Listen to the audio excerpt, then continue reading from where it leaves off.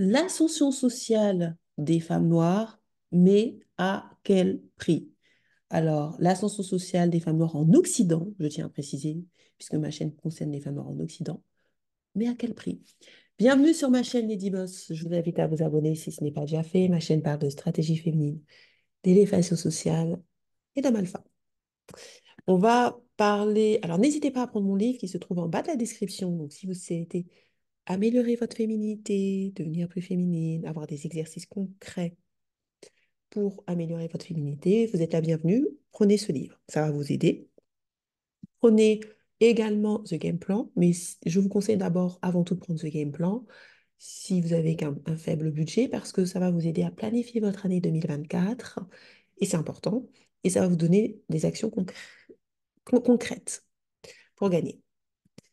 Euh, n'hésitez pas aussi à prendre le membership. Donc, je mets euh, chaque, chaque semaine, j'essaie de mettre des vidéos exclusives. Alors, exclusives euh, pour les DS Gold. je mets des vidéos que je ne publie pas, qui ne sont pas publiques. donc, j'ai parlé beaucoup de choses, je parle de beaucoup de choses, donc si vous souhaitez. Et puis, de toute façon, je vais reprendre, alors je vais plus faire des lives comme, je, comme tout le temps, mais je vais essayer de faire de temps en temps des lives. Et dans les lives, euh, je les mettrai, euh, je les laisserai peut-être deux, trois jours et ensuite je vais les mettre euh, en privé. Et ensuite aussi, pareil pour des vidéos, il y a certaines vidéos que je vais laisser, d'autres vidéos que je ne laisserai pas. Donc ça sera. Donc vous n'aurez pas accès à tout pour, pour inciter les gens à, s'abonner. N'hésitez pas à prendre la masterclass Dark Femininity pour gagner dans sa vie. Donc on, si vous souhaitez en savoir plus, relisez qu'est-ce que la dark femininity, comment utiliser la dark femininity au travail. Je pense que la femme noire, vous ne l'avez pas assez. Vous êtes complètement à côté de la plaque. Et on, je parlais derrière moi avec un, homme alpha, il me disait, mais la femme noire, elle est complètement à côté de la plaque. Mais c'est vrai, en fait. Vous, n'avez pas cette dark femininity que je vais expliquer. Euh, euh, en fait, vous ne maîtrisez pas les codes de votre environnement. Et pour moi, c'est très inquiétant. C'est très inquiétant parce que euh, vous allez être des futures mères, certaines vous êtes des mères, je me dis, mais qu'est-ce que vous enseignez à vos enfants si déjà vous ne comprenez même pas l'environnement dans lequel vous vivez? C'est très compliqué. Donc prenez la Dark Femininity, je vais vous expliquer plein de choses, on vous, pose, pourrez me poser des questions. Je ne vais pas même pas expliquer là qu'est-ce que c'est que la Dark Femininity, j'expliquerai vraiment, euh, plus que ma chaîne grossit de plus en plus, je ne veux pas tout partager. N'hésitez pas si vous voulez savoir tous mes programmes et prendre, ou à prendre un coaching, à, me contacter à devenir une femme alpha à gmail.com. Alors, on va parler de euh, je pense qu'une fois par semaine, je vais faire des vidéos euh, sociologiques, on va dire ça comme ça, euh, sur la femme noire en Occident. Euh, je sais que vous avez bien aimé, j'ai eu de très bons retours sur pourquoi la femme noire souffre tant en Occident. certaines m'ont dit que c'était mes meilleures vidéos que j'ai faites. Mais j'ai vu que par rapport au nombre de vies, vous avez bien aimé. Pourtant, elle était longue. Donc, je vais, faire, je vais essayer de faire une fois par semaine des vidéos sociologiques pour bien comprendre les problèmes des femmes noires en Occident. Alors, L'ascension sociale des femmes noires, mais à quel prix? Alors, comme je disais, statistiquement, c'est prouvé hein, que les femmes noires, que ce soit aux États-Unis ou en Occident, elles font plus d'études que les hommes noirs, mais elles font aussi partie des femmes qui sont les plus éduquées. Alors, je dis pas éduquées, ça ne veut pas dire qu'elles font les Ivy League, ça veut dire qu'elles vont à l'école. Maintenant, j'ai remarqué que beaucoup de femmes noires font des études qui ne servent à rien. Combien de fois je suis en train de, pas d'engueuler, mais des limites de, me taper, de, de d'être choqué parce que vous faites des études vraiment euh, qui va vous aboutir, qui va vous amener nulle part, mais vous faites quand même des études. Et donc, ce qui s'est passé, c'est que, comme je vous ai dit, l'Occident, c'est le patriarcat le plus fort et qui a le plus élevé leurs femmes. Ok, c'est incontestable, c'est, il n'y a même pas de, c'est pas, incontestable. Alors, ce qui s'est passé, c'est que les autres femmes racisées, entre guillemets, si j'aime pas trop ce terme, on va dire euh, des minorités ethniques, euh, ont bénéficié de cela. Il faut savoir qu'en France et même en Occident, d'une manière générale, les femmes sont plus éduquées, vont plus à l'école que les hommes. Ça, c'est statistique. Hein. Les Françaises, les femmes françaises vont plus à l'école que les hommes français. Alors, en même temps, les femmes aussi, il faut savoir qu'il y a plus de femmes que d'hommes en Occident. Hein. Donc, euh, il faut le savoir. Donc, de plus en plus de femmes vont à l'école, accèdent à des études supérieures, pas forcément bac plus 5, parce que j'ai regardé, euh, parce que vous savez que j'adore les statistiques, et il n'y a que 27% de Français qui ont un bac plus, qui, vont jusqu'au bac plus 5. 27% des Français, un truc comme ça. J'ai regardé sur l'INSEE, parce que j'aime bien me, documenter. C'est très faible. Très peu, en fait, pas tant que ça, hein, de Français vont. Pourtant, l'école est gratuite. Donc, je ne comprends pas. L'école, c'est gratuit. L'école est gratuit, c'est, enfin, il y a la gratuité de l'école, mais euh, il n'y a que 27% de gens qui vont, qui font un bac plus 5. Si mes souvenirs sont bons, checker l'INSEE, mais je crois que c'est 27. Il y a très... En fait, il n'y a pas tant de gens que ça. On a l'impression, alors peut-être parce que moi j'ai fait des grandes études, et peut-être que je côtoie que des gens qui ont fait des grandes études comme moi, mais en fait, il n'y a pas tant que ça de gens qui ont fait des grandes études. 27%, c'est pas énorme. Je pensais qu'il y aurait plus de... il y aurait plus que ça. Je m'attendais à plus, vu que que l'école n'est pas, enfin, c'est pas, pas les États-Unis. Aux États-Unis, je comprends. On peut comprendre que les, euh, les gens n'aillent pas à l'école parce que c'est trop cher. C'est 30 à 50 000 euros par an. Euh, euh, mais en, France, euh, je comprends pas. Parce que la France est gratuit, quoi. Enfin, c'est l'école est donnée. Enfin, vous pouvez même faire l'université, c'est pas pas très cher. Alors, je suis en train de chercher le pourcentage euh, des personnes, pourcentage des personnes ayant un bac plus 5. Oui, c'est 27%. Mais après, euh, c'est, il y a longtemps, hein. Ils ont pas... À la rentrée 2020, après six années passées dans l'enseignement supérieur, 27% des bacheliers 2014 qui ont poursuivi leur étude directement après le lycée ont obtenu un diplôme de bac plus 5. Donc ça, c'est enseignement sup euh, recherche.gouv.fr. Donc, effectivement, il y a à peu près 27% de personnes. Euh, ouais. Quel pourcentage de la population a un master? 27% des jeunes sortent diplômés d'études longues. 10% un DUG. DUG, c'était, bah, c'est un ancien, enfin, on dit plus DUG, on dit euh, bac plus 2. Et une licence maîtrise, 16%.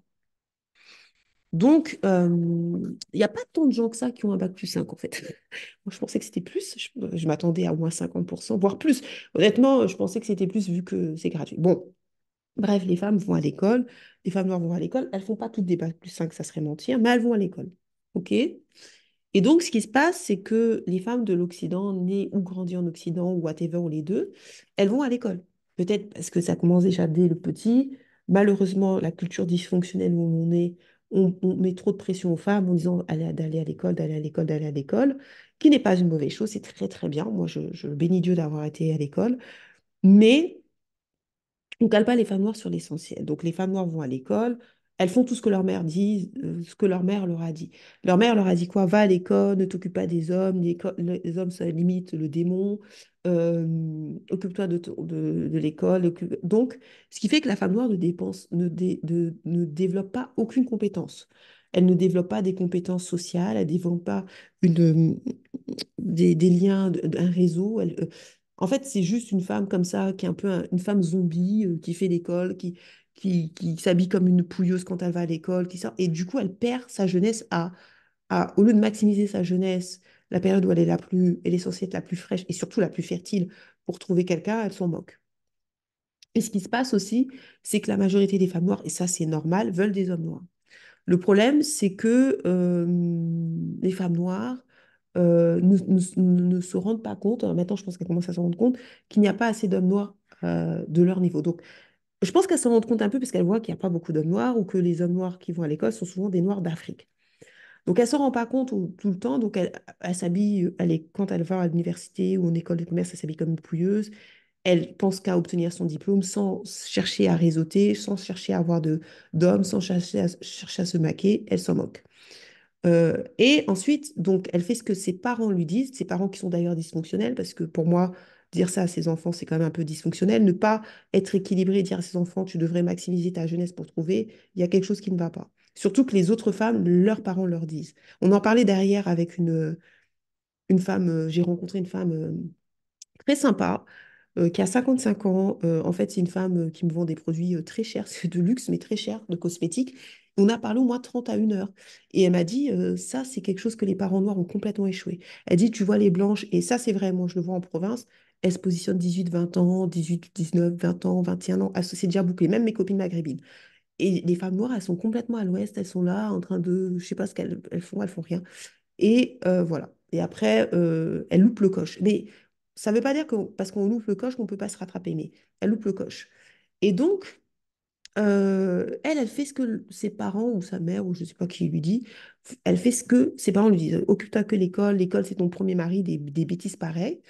Sauf qu'elle arrive à 28, donc elle fait l'école, elle fait un bac plus 5 en général. Et ça, c'est pas dû aux femmes noires, hein, c'est dû à la société française. Les gens sont des redoublants. Je crois qu'en France, 60% ou 60, 60 à 70% des gens qui vont à l'université, un truc comme ça, redoublent la première année. Donc, euh, bon, le fait de redoubler, c'est pas propre aux femmes noires. hein, c'est que la France, euh, comme c'est gratuit, les gens, ils, ils redoublent. Donc, euh, la femme noire est aussi en retard.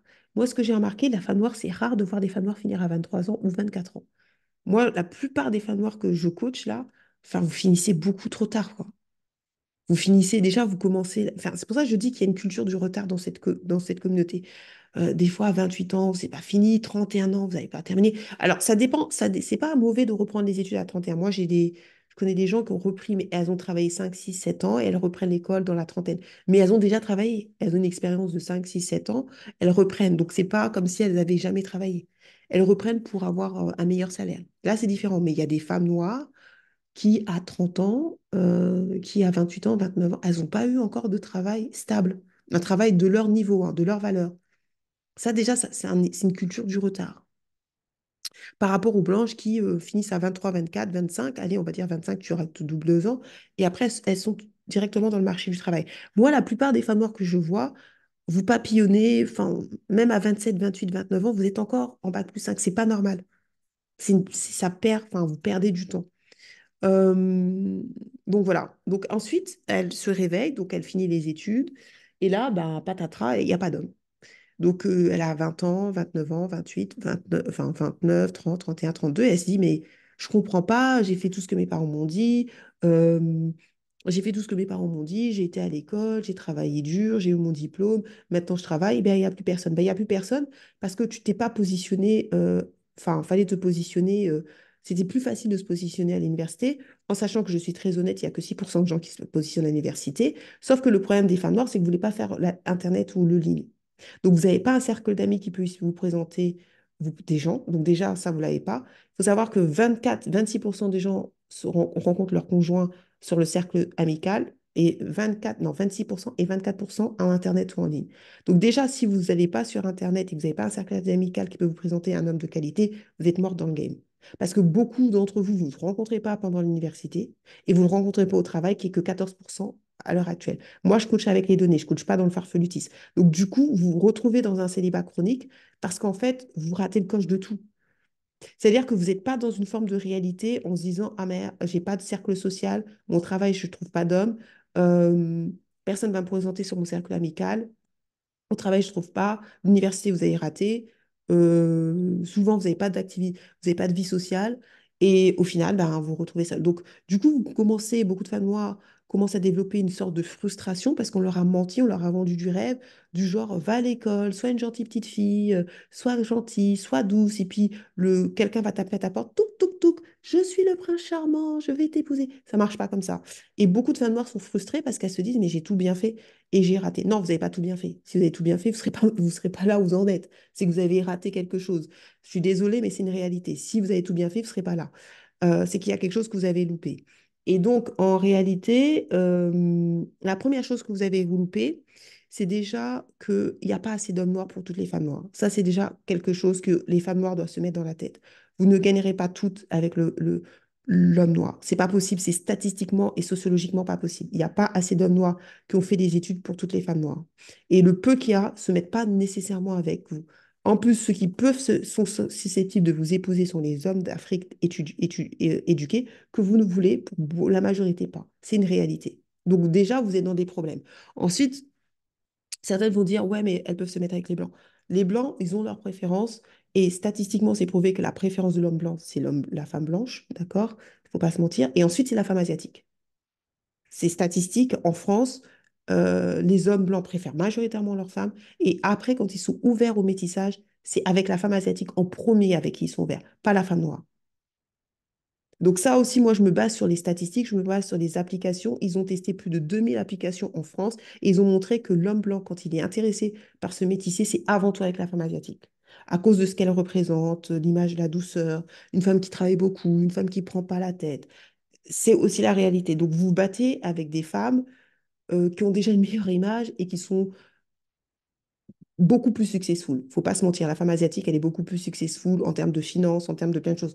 Mais c'est pas votre faute, c'est juste parce qu'elles ont un meilleur patriarcat. C'est pas, c'est pas que vous êtes mauvaise, c'est juste qu'elles ont un meilleur patriarcat. Et quand vous avez un meilleur patriarcat, vous gagnez plus qu'une fille qui n'a pas de patriarcat. Ça n'a rien à voir avec vous et votre méritocratie. Mais il faut savoir que la vie, c'est pas la méritocratie et l'amour, c'est pas la méritocratie. Donc maintenant, après, quand la femme noire, elle a souvent raté le coche, qu'est-ce qu'elle fait? Elle se retourne dans la religion.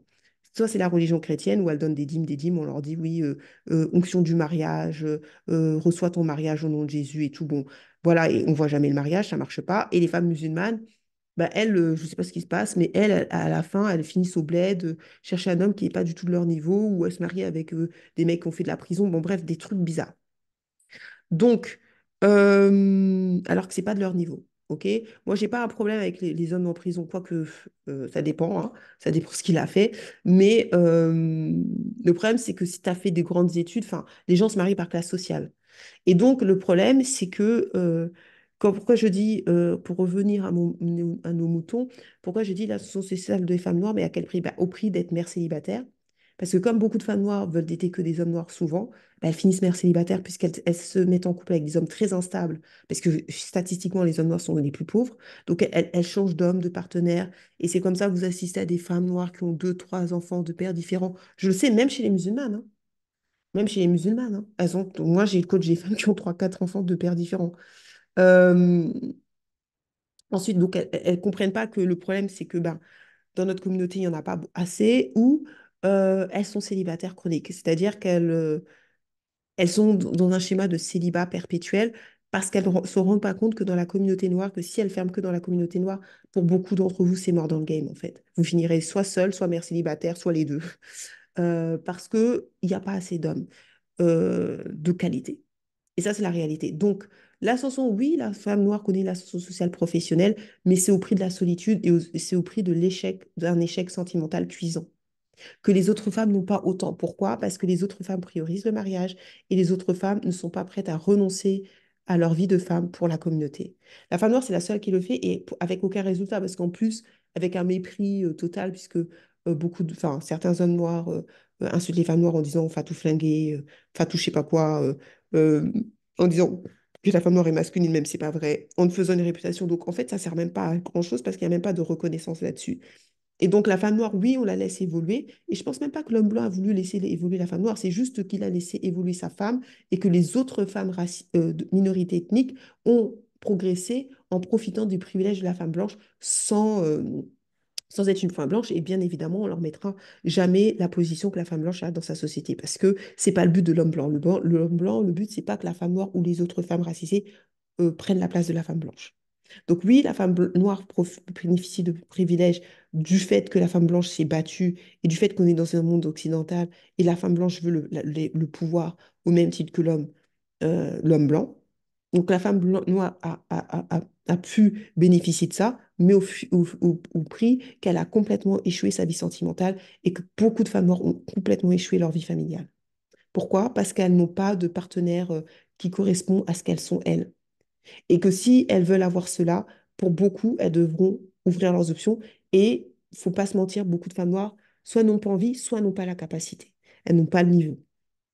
Donc, et c'est pour ça que je dis l'ascension sociale des femmes noires à quel prix? Au prix d'être mère célibataire ou au prix d'être célibataire chronique. Et c'est pour ça qu'on va assister là à une pléthore de femmes noires célibataires qui ne sera du jamais vu. Pourquoi? Parce que elles n'ont pas compris que bah, cette ascension sociale, il fallait se positionner avec l'homme qui est au niveau, quelle que soit la race. Et généralement, quand vous êtes à l'université, vous avez toujours un homme qui vous plaît, qui vous, qui vous aime bien. Et si vous êtes un peu mignonne. Et euh, elles, ne, le coche. Ensuite, au travail, des fois, elles font du travail, un travail où il n'y a pas beaucoup d'hommes de qualité. Et ensuite, après, elles ne sortent pas et elles ne, elles ne compensent pas en sortant. Et quand vous êtes mère célibataire, ça complique les choses parce que quand vous êtes mère célibataire, vous ne pouvez pas sortir comme vous voulez. Parce que vous dépendez, un être humain dépend de vous et vous devez avoir une nounou. Une nounou en Ile-de-France, c'est cher. Certaines aussi, vous êtes célibataire parce que vous êtes en province et en province, quand vous avez plus de 30 ans, euh, moi, je ne recommande pas, je vous recommande d'aller en Ile-de-France parce que statistiquement, moi, j'ai les stats, hein, même à mes clients, je leur donne.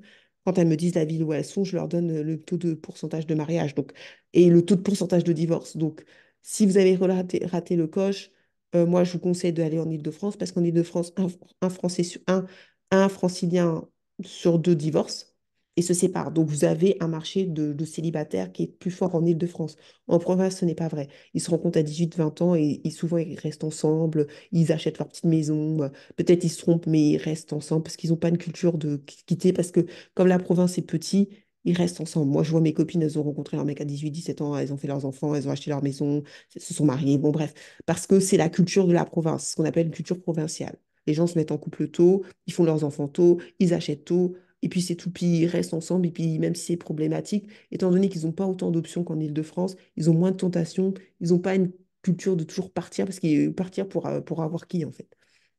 Donc, c'est la raison pour laquelle la femme noire, en fait, c'est pas vraiment une association sociale. Parce que quand on rate, on rate, sa vie de femme, quand on rate sa vie de famille, bah, on n'a pas, moi, j'estime qu'on n'a pas forcément réussi. Donc, euh, c'est la raison pour laquelle il faut être équilibré, ce que la femme noire n'est pas. Et il faut que vous compreniez que quand vous allez aux études, quand vous allez privilégier aussi de trouver quelqu'un comme les femmes blanches le font et comme les femmes maghrébines le font. C'est-à-dire que les femmes maghrébines, moi j'étais avec une femme maghrébine, euh, c'est une, de très bonnes copines, elle était obsédée par bien se marier. Et elle, elle s'est bien mariée, hein, s'est mariée avec un multimillionnaire. Hein. Elle s'est très très bien mariée. Euh, d'ailleurs, c'est une femme au foyer euh, qui m'appelle parce qu'elle s'ennuie, mais elle s'est très bien mariée. Elle part tout le temps en vacances. Elle dit oui, je suis mère au foyer. Et quand je lui dis mais tu t'ennuies, elle dit oui, mais je pars en vacances là, je pars en vacances au ski, je pars en vacances au lit. C'est juste que comme la société ne valorise pas les mères au foyer, je pense qu'elle se sent responsable d'être mère au foyer, en fait. Donc, elle veut faire comme tout le monde. Ouais, j'ai un petit boulot. Euh. Et je pense aussi pour son épanouissement personnel. Mais ça, c'est des problèmes de, de, femmes au foyer qui ne veulent pas. Moi, je recommande quand même d'avoir quelque chose. Hein. Je ne recommande pas d'être femme au foyer, n'avoir rien. Moi, je recommande d'être mère au foyer et de travailler de la maison. Mais je ne suis pas pour que la femme noire, même les femmes d'une manière générale, fassent rien parce qu'on ne sait jamais les coups de la vie, ce qui se passe dans le monde. Il faut toujours avoir euh, son propre argent. Je ne suis pas. Je suis quand même assez pragmatique là-dessus. Voilà pourquoi euh, je dis à quel prix. Donc, euh, pour moi, ce n'est pas une réussite. Je pense que la femme noire, la plupart des femmes noires, malheureusement, n'ont pas réussi en Occident.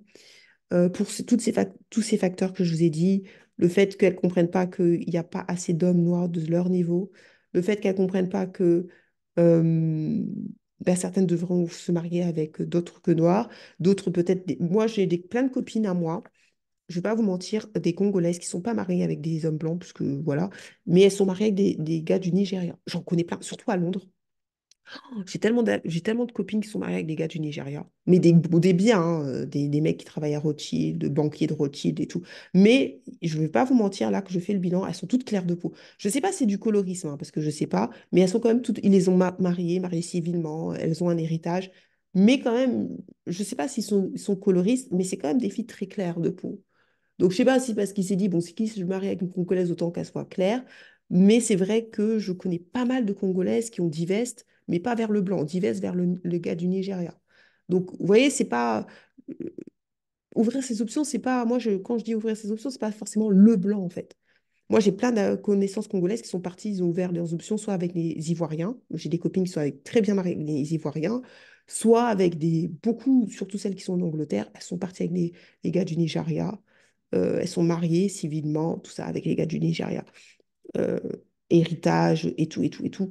Donc, euh, c'est pour ça que je vous dis, moi, je n'ai pas, j'ai pas fait ma chaîne pour dire le blanc, le blanc. Non, pas forcément. Déjà, le blanc, il préfère sa femme, faut pas se mentir. Et non, non, non, quand il y a d'ouvrir ses options, c'est vous pouvez avoir des noirs de d'autres cultures. Après, je leur ai pas demandé est-ce que ça se passe bien? Si, ça se passe bien, parce que ça fait des années qu'ils sont ensemble.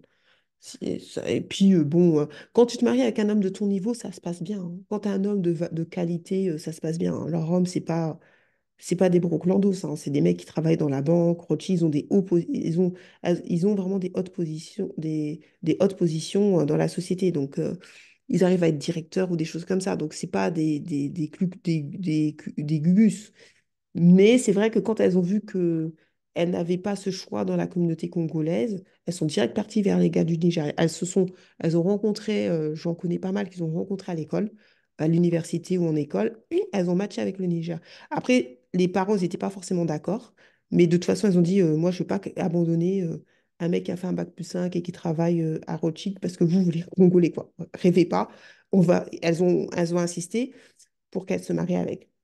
Parce qu'elles savaient que c'était l'opportunité du siècle. hein. Elles n'ont pas ramené le gugus du coin. hein. Donc, ça je vous dis, le, côté ouvrir ses options, c'est pas, ça ne veut pas forcément dire le blanc, en fait.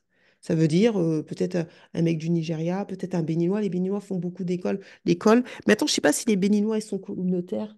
Moi, je sais que j'avais une copine béninoise, elle était très communautaire. Ils font beaucoup, ils vont beaucoup à l'école.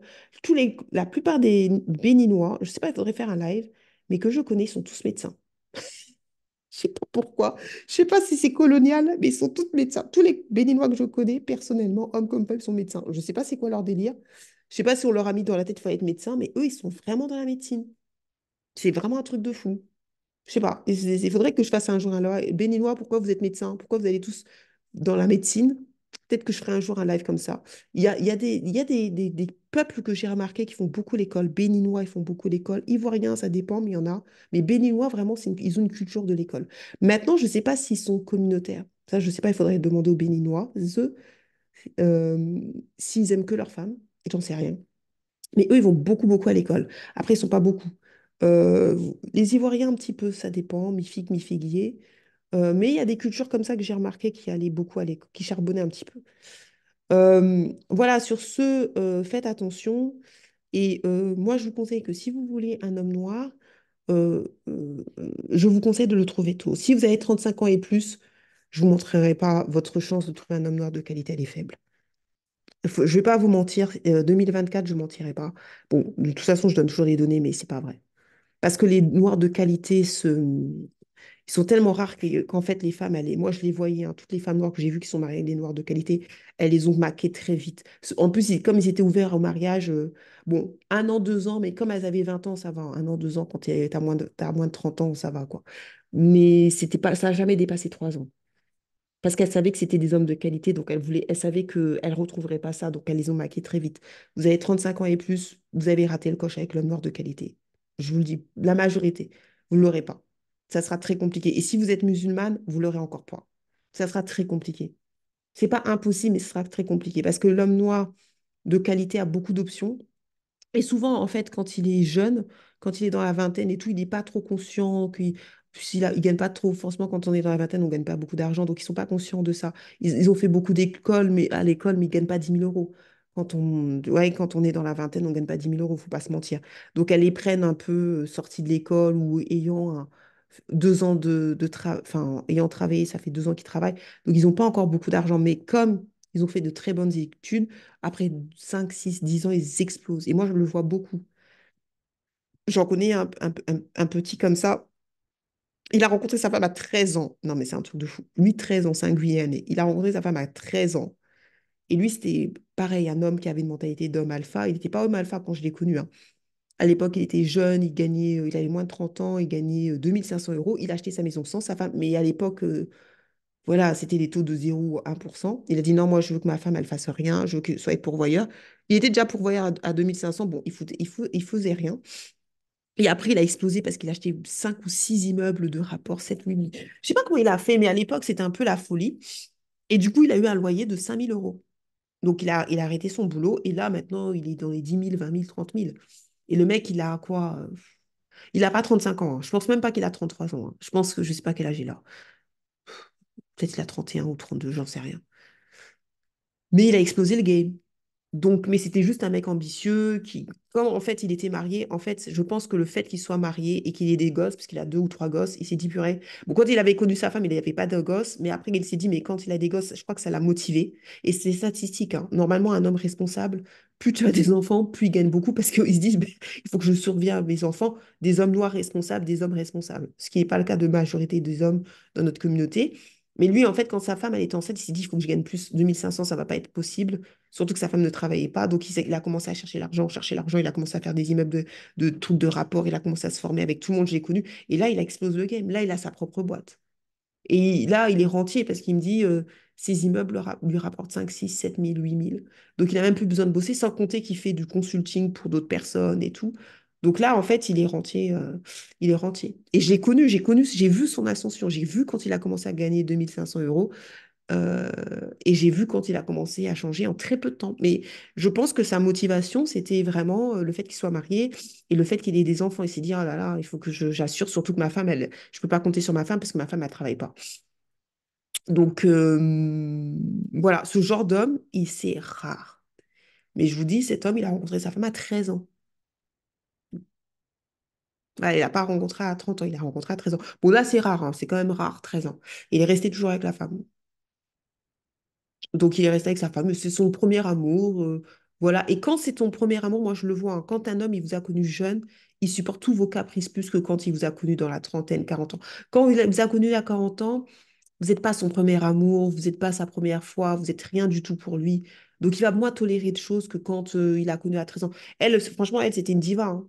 C'est une Renoir diva. euh, et il supporte tout parce qu'il a rencontré à 13 ans. Donc, il est habitué à ses, caprices de diva, en fait. C'est une femme très diva. hein. Enfin, c'est une femme très, très diva, mais il supporte parce qu'il a connu très jeune. Donc, euh, il supporte et, il a accès à sa demande. C'est-à-dire qu'elle. Là, je pense qu'elle essaie de faire un petit business parce que. Mais elle il a pas, ça, elle fait un petit business. Ça, c'est des femmes qui font des petits business pour faire genre, mais son mari pourvoit à 100%. Et dès le départ, même quand il gagnait 2500 euros. Maintenant, il gagne 3 4 5 fois plus, 6 fois plus même. Donc voilà, sur ce, à bientôt dans la Bossland. N'hésitez pas à prendre un coaching avec moi et la masterclass Dark, la Dark Femininity. Je vous dis à la prochaine.